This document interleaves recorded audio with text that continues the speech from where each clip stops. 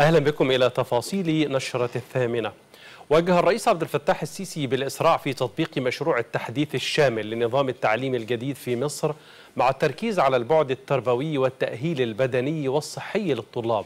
وتطوير منظومة امتحانات أبناء المصريين في الخارج على نحو يحقق الكفاءة ويتسق مع الوسائل الحديثة.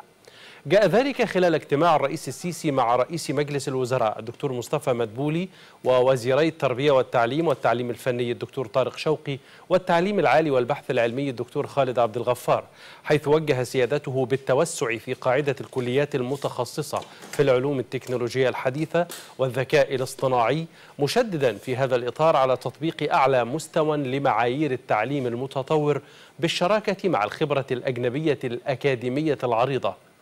وصرح المتحدث الرسمي باسم رئاسة الجمهورية السفير بسام راضي بأن الاجتماع تناول متابعة مستجدات الانتهاء من التعليم من العام الدراسي 2019-2020 ونتائج تنسيق القبول بالجامعات فضلا عن الإجراءات الحالية لاستقبال العام الدراسي الجديد.